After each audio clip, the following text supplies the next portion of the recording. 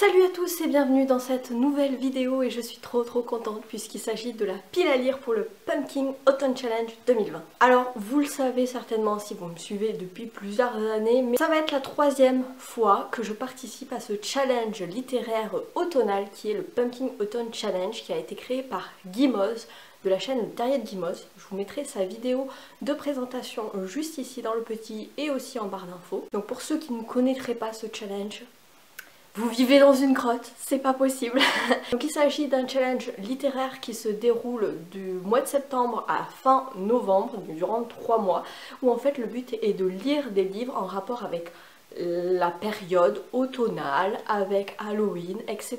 Alors c'est un challenge à la base littéraire mais qui peut être aussi audiovisuel puisque vous pouvez tout à fait y inclure des films et des séries. Cette année il y a 3 menus avec 4 sous-catégories par menu donc 3 x 4 égale 12 pour les deux du fond qui suivent, bravo. Euh, donc euh, il y aura donc 12 sous-catégories, on n'est pas obligé de valider tous les menus, toutes les sous-catégories. Le but c'est au moins de valider je crois deux livres dans deux sous-catégories différentes.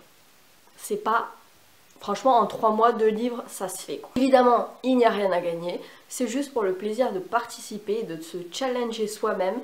Et euh, voilà, pour pouvoir se mettre bien en mode cosy, en mode un peu creepy pour euh, la période automnale où les jours raccourcissent, où c'est peut-être un peu la déprime, surtout le mois de novembre. Donc voilà, ce challenge, ça nous permet de nous mettre vraiment dans l'ambiance de l'automne et de pouvoir se faire plaisir et traverser cette période le mieux possible en mode un peu cocooning et en même temps un petit peu frissonnant.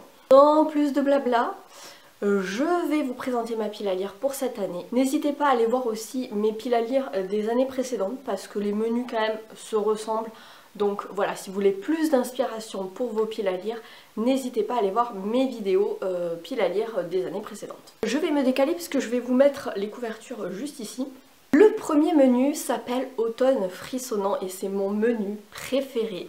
Donc avec la première sous-catégorie qui est Je suis des vieux crocodiles et là les mots-clés sont trahison, thriller, policier, horreur et épouvante. Alors dans cette euh, sous-catégorie, j'ai décidé de mettre deux livres. Le premier livre, je vous l'affiche ici, il s'agit de Disparaître ici de Kesley Ray Dimberg aux éditions Cherche Midi. Alors c'est un livre qui n'est pas encore sorti, normalement il devrait sortir le 1er octobre et euh, comme je fais partie de la team thriller du Cherche Midi, je devrais normalement, si tout va bien, le recevoir incessamment sous peu. Et donc il s'agit d'un thriller où on va suivre une petite fille qui s'appelle euh, Amabel, elle a 5 ans, elle est avec sa babysitter et elle se rend compte qu'il y a une femme rousse un petit peu bizarre qui n'arrête pas de la suivre partout.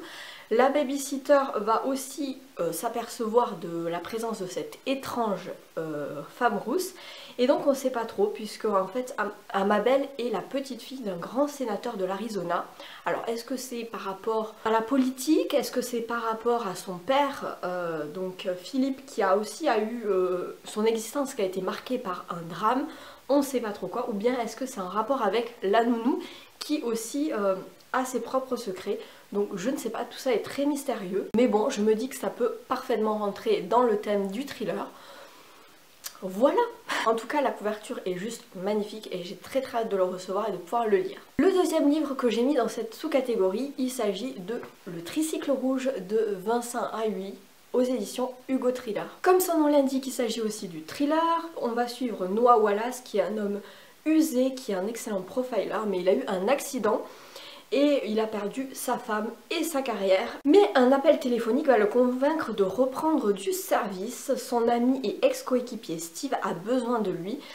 Une carte postale trouvée sur le lieu d'un crime atroce au Canada l'implique directement et le ramène à une série de meurtres commis 5 ans plus tôt. Tout porte à croire qu'un serial killer présumé mort, le démon de Vermont, est de nouveau à l'œuvre. Et en parallèle, on va suivre à New York une journaliste blogueuse qui s'appelle Sophie Lavallée et qui enquête sur un reporter qui a disparu dans les années 70. Et évidemment, les deux histoires vont se recouper. Ça a l'air bien mystérieux et j'ai très très hâte de le lire. La deuxième sous-catégorie de ce menu automne frissonnant, la deuxième sous-catégorie de ce menu automne frissonnant est les chimères de Sylve Rouge, où là les mots-clés sont gothique, vampire, créature de la nuit, ténèbres ou encore macabre. Et alors là, j'avais l'embarras du choix. J'ai réussi à mettre trois livres dans cette sous-catégorie.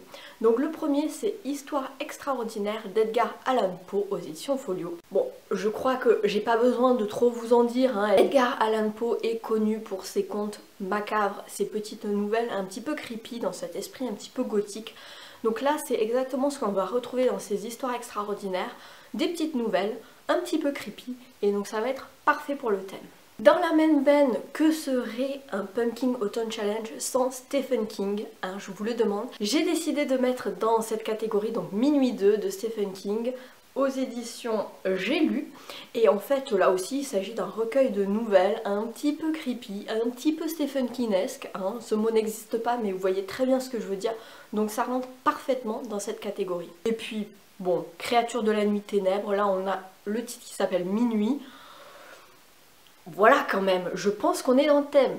Je sais pas ce que vous en pensez. Et toujours dans cette catégorie un petit peu autour de la nuit, un autre titre qui fait vraiment référence à la nuit, c'est Midnight de Dean Koontz. Aux éditions, euh, j'ai lu aussi, et en fait, euh, voilà, Dean Koontz c'est vraiment un auteur euh, reconnu dans tout ce qui est horreur épouvante, un peu au même titre que Stephen King, mais Honte à moi, je n'ai jamais lu cet auteur et donc du coup j'aimerais bien réparer cette erreur avec celui-ci où là il est question, alors on est en Californie à Moonlight Cove où euh, c'est une ville qui sombre euh, soudain dans le cauchemar puisqu'il y a des cris rocs, haletants et sauvages, des ombres furtives plus rapides que des félins qui euh, sont un petit peu dans la nuit comme ça. Et dans cette communauté jusqu'alors paisible, les gens sont mis en pièces par des espèces inconnues loup-garou, vampire ou créature déchue, mystère. Donc on va suivre Sam Booker qui est envoyé par euh, le FBI pour essayer de découvrir ce qui se passe dans cette ville. On va suivre aussi Chrissy Foster qui elle sait qu'il s'agit de convertis et elle a assisté à la métamorphose de ses parents en ces fameuses créatures. Et on va suivre aussi Tessa qui est venue enquêter sur le suicide de sa sœur et elle va être confrontée à une bande de ces charognards, c'est régressif. Donc ça a l'air plutôt pas mal, un petit peu creepy comme ça, autour de ces créatures. On sait pas bien ce que c'est, mais c'est parfait pour ce thème. La luminosité en train de changer. ben, ça fait partie des aléas du direct, hein. enfin du pas direct, mais vous comprenez. Alors la troisième sous-catégorie de ce menu automne frissonnant, il s'agit de Les supplices de la belladone. C'est très très simple, il suffit de lire un livre avec la couverture noire. Donc il y en a plein qui auraient pu rentrer dans cette catégorie dans ma pile à lire, mais j'ai choisi de mettre La maison dans laquelle de Mariam Petrosyan aux éditions Toussaint l'ouverture qui sort en poche au mois de septembre, le 17 septembre. Alors je ne l'ai pas en ma possession encore, mais je devrais le recevoir euh, pour mon anniversaire qui est au mois de septembre.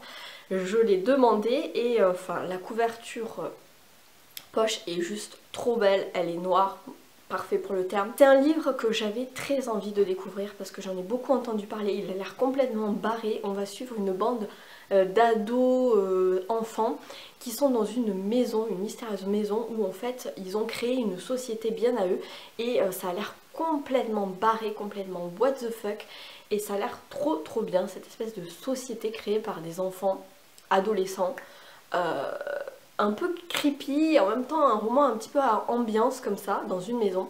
Ça a l'air super chouette, donc ça sera parfait pour ce thème sur la bellade. Et le soleil revenu, entre-temps, il va disparaître. Ah, la dure vie de booktuber. Et enfin, la dernière sous-catégorie du menu automne frissonnant, il s'agit de Esprit et tu là. Et là, les mots-clés sont fantôme, fantôme du passé, histoire de famille ou encore historique ou classique. Et là, évidemment, ce livre, je me le gardais exprès pour cette période automnale pour le Pumpkin Autumn Challenge. Il s'agit de Rebecca de Daphné du Maurier, publié aux éditions Le Livre de Poche. Ce livre me fait très envie depuis un moment, puisqu'on est vraiment sur une ambiance gothique où on va suivre on est dans espèce de manoir à l'époque victorienne en Angleterre où on va suivre une jeune femme, donc l'héroïne, je ne sais plus comment elle s'appelle, mais qui va devoir aller vivre euh, dans la maison de son nouveau mari qui était veuf avant puisque sa précédente épouse est décédée et elle s'appelait Rebecca. Et donc il y a euh, cette espèce de fantôme de cette euh, ancienne femme, sa première épouse, qui hante un petit peu les lieux, aussi les domestiques, mais aussi son mari qui visiblement un peu de mal à faire son deuil. Enfin voilà, il y a des secrets de famille, des secrets un petit peu enfouis dans ce manoir avec cette ambiance un petit peu brumeuse et puis euh, ce fantôme du passé qui est Rebecca. Donc là je pense qu'on ne peut pas plus être dans le thème. Je continue avec le deuxième menu de euh, ce Pumpkin Autumn Challenge qui est automne douceur de vivre et la première catégorie est il fait un temps épouvantail.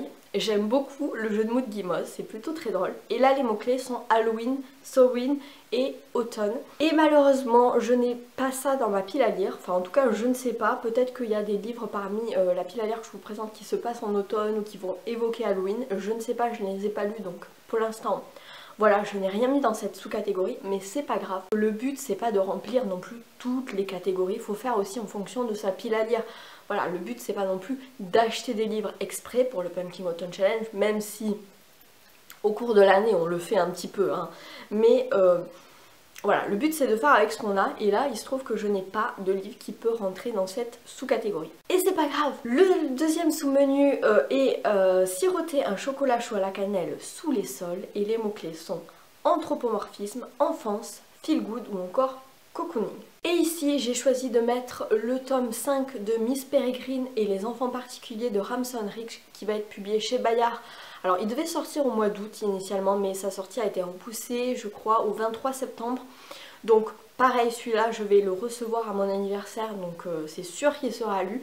Et évidemment, on va parler d'enfants, puisque euh, dans euh, Miss Peregrine, les enfants particuliers, déjà dans le titre, il y a les enfants particuliers. On va suivre une bande d'enfants qui ont des pouvoirs et qui voyagent de boucle spatio-temporelle en boucle spatio-temporelle. Et j'adore cette ambiance. En plus, il y a des photos insérées dans le livre, des photos un petit peu anciennes, un petit peu creepy qui sont vraiment géniales, ça donne vraiment une ambiance spéciale au bouquin. Et puis euh, la plume de l'auteur est tellement réconfortante, c'est une lecture un petit peu doudou. Donc pour moi ça rentre parfaitement dans cette catégorie. Deuxième sous-catégorie du menu automne douceur de vivre, c'est pas finir ton assiette sinon pas de piécettes et là les mots-clés sont créatures légendaires et fantastiques, petit peuple, féerie, contes, légendes ou encore mythes. Et donc dans cette sous-catégorie j'ai décidé de mettre deux livres. Le premier c'est Les Aventuriers de la mer 4 de Robin Hobb chez J'ai lu qui s'appelle du coup Brume et Tempête. Et donc bon voilà, si vous me connaissez depuis un moment vous savez que j'adore l'univers de Robin Hobb, c'est de la fantasy. Et euh, j'ai lu le premier cycle de Assassin Royal que j'avais beaucoup aimé et donc là j'en suis aux Aventuriers de la mer où on est sur un univers un petit peu de piraterie, de bateaux, etc. Et il y a des créatures magiques qui sont les serpents de mer, et il y a aussi des bateaux magiques qui prennent vie, euh, où la figure de proue s'anime, donc c'est un peu aussi des créatures euh, fantastiques. Donc je pense que ça rentrera parfaitement dans le thème. Donc je vais pas trop vous résumer, euh, mais voilà, sachez qu'on est dans cet univers un petit peu maritime, avec des pirates, avec des serpents de mer, avec euh, bah, des complots, enfin plein de choses. Et bah, du coup moi j'adore cet univers, donc je ne pouvais pas ne pas mettre un livre de Robin Hobb parce que j'ai très très envie de poursuivre cette saga que j'aime beaucoup. Et le deuxième livre que j'ai lu, ce ne va pas être une surprise non plus pour vous si vous me suivez depuis un moment puisque vous savez que j'adore Agatha Christie et que je lis un livre de cette autrice par saison. Donc il me fallait obligatoirement mettre un Agatha Christie pour l'automne. Et j'ai choisi de mettre La nuit qui ne finit pas donc de Agatha Christie aux éditions du Masque. Pourquoi j'ai choisi celui-ci? Parce qu'il a une dimension un petit peu fantastique euh, qu'on retrouve assez peu d'habitude chez Agatha Christie. C'est un livre un petit peu spécial où là on va suivre un homme qui s'appelle Michael et euh, qui euh, est tombé amoureux d'une vieille propriété dans les Landes qui est une ruine, un ancien manoir qui va faire retaper et il va vivre avec son épouse ici. Mais il se trouve que cette maison s'appelle le champ du gitan. Donc je reprends puisque ma carte SD m'a un petit peu lâché.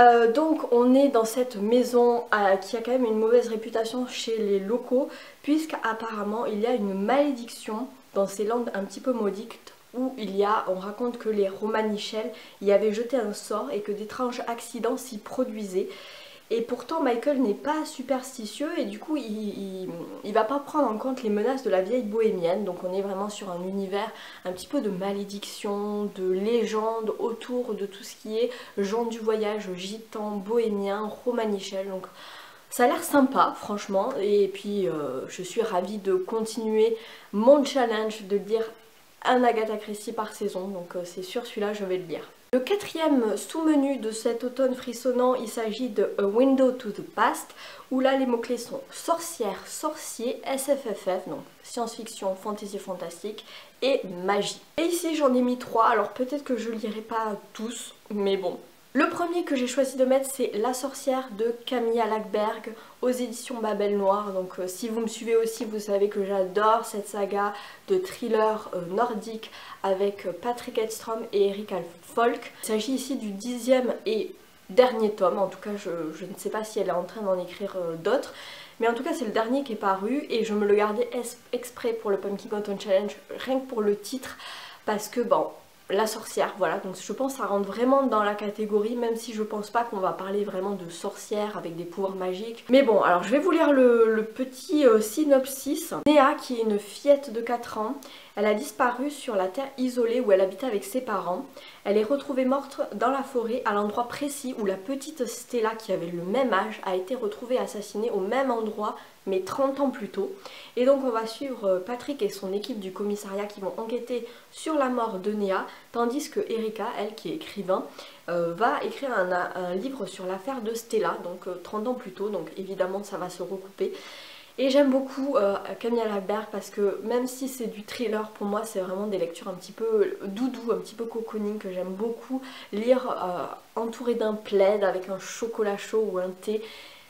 Voilà, j'adore, donc ça sera parfait pour cet automne. Le deuxième livre que je vais mettre dans cette sous-catégorie et que je n'ai pas encore en ma possession, mais pareil, je vais le recevoir normalement à mon anniversaire, c'est Elantris de Brandon Sanderson aux éditions Le Livre de Poche, donc c'est de la fantasy. Et Brandon Sanderson, c'est vraiment un auteur hyper reconnu en fait en ce moment dans le monde de la fantasy et que je n'ai jamais lu et que j'ai très très très très envie de découvrir. Du coup, il paraît qu'il faut commencer soit par Elantris, soit par le premier tome des Fils euh, de Brume. Euh, c'est Lula Ellis, donc Lucie, qui avait fait une vidéo spéciale sur Brandon Sanderson, donc n'hésitez pas à aller la voir, je vous la mettrai dans le petit i euh, si vous voulez euh, savoir un petit peu des conseils sur tout l'univers de Brandon Sanderson, c'est vraiment une spécialiste Lucie. Et donc j'ai suivi ses conseils et je me dis que je vais commencer par Elantris qui en plus est un one shot. Pour le résumer, il y a 10 ans, la sublime cité d'Elantris, capitale d'Arelon, a été frappée par euh, une malédiction. Ses portes sont désormais closes et nul ne sait ce qui se passe derrière les murailles. Kae est devenue la première ville de Alareon. Quand la princesse Saren y arrive pour épouser Raoden, l'héritier de la couronne, on lui apprend qu'il vient de mourir. Veuve d'un homme qu'elle n'a jamais vu, Saren choisit pourtant de rester à la cour et tente de percer le mystère d'Elantris. Ça a l'air vraiment d'être un super programme, mais par contre c'est une pavasse le bouquin, donc euh, on verra si je vais le lire, si je vais être motivée, mais j'espère que oui parce que ça me donne très très envie. Le troisième livre que je mets dans cette sous-catégorie, euh, il s'agit de Death Play, euh, le jeu de la mort, de Patrice Lessina. Alors c'est de l'auto-édition. alors je vais le recevoir normalement prochainement puisque l'auteur m'a contacté pour le recevoir. je vous avais déjà parlé de cet auteur, j'avais déjà lu un livre euh, de lui qui était euh, le premier tome des chroniques d'harmonie, l'éveil, que j'avais beaucoup aimé, c'était de la science-fiction euh, young adulte. Là aussi on va être sur de la science-fiction où on va être plus sur un truc un peu d'anticipation post-apocalyptique, je sais pas trop si c'est post-apocalyptique mais on est en 2110, les personnes surendettées sont placées en situation d'ultime recouvrement et deviennent des marchandises négociables par leurs créanciers. Au service du recouvrement de la warm-up, Jack Adaos doit valider l'élimination de Marie Cassidy Cunningham piégée par un crédit à taux usuaire. Face à sa conscience, il détruit le dossier des deux femmes, mais poursuivi par la warm-up, il s'inscrit à Playdeath. Dans l'espoir de remporter 5 milliards de dollars, des milliers de candidats s'affrontent au cours d'une course dans le Grand Canyon, un duel, une épreuve individuelle, une épreuve collective et une course finale. Les épreuves sont souvent mortelles et les téléspectateurs parient sur la mort ou la réussite des candidats. Voilà, euh, donc ça a l'air assez sympa. Moi, ça me fait beaucoup penser à la fois un petit peu aux Hunger Games et à la fois euh, à euh, Running Man de Stephen King, ce côté un peu jeu télé avec un petit peu mortel, etc. Donc ça a l'air plutôt cool. Donc je vous en reparlerai évidemment quand je l'aurai lu dans un bilan lecture. Enfin, on passe au dernier menu, et oui, le dernier menu qui s'appelle Automne des Enchantresses. La première sous-catégorie s'appelle Les rêves d'aurore, où là les mots-clés sont LGBTQ+, et militantisme. Alors, je pense pas avoir de livre qui peut correspondre à cette sous-catégorie dans ma pile à lire. Alors il se peut qu'il y ait des personnages LGBTQ+, dans les livres que j'ai présentés, mais pour l'instant je ne sais pas. Donc euh, en tout cas c'est pas estampillé LGBTQ+, donc on verra bien. Le deuxième sous-menu s'appelle Sarah Bernard Monstre Sacré, où là on va être dans les pièces de théâtre, la dramaturgie, l'art. Et pareil, je n'ai pas de livre qui peut correspondre à ma pile à lire. En tout cas, pas pour l'instant. Il se peut que il y a d'autres livres qui arrivent euh, en cours de route, euh, qui aient des remaniements de piles à lire. C'est possible, on est libre d'ailleurs de le faire. Mais pour l'instant, j'en ai pas qui rentrent dans cette catégorie. La troisième sous-catégorie s'appelle les écailles de Mélusine, où là c'est du féminisme, de la transformation et de la métamorphose. Et j'ai choisi de mettre un essai féministe qui s'appelle Libérer. Le combat féministe se gagne devant le panier de linge sale de Titiou le coq aux éditions Le Livre de Poche. Donc là, vous l'aurez compris, je pense que le titre est assez évocateur. D'ailleurs, il m'a fait beaucoup rire. On est sur un essai féministe autour des tâches domestiques, des corvées, etc.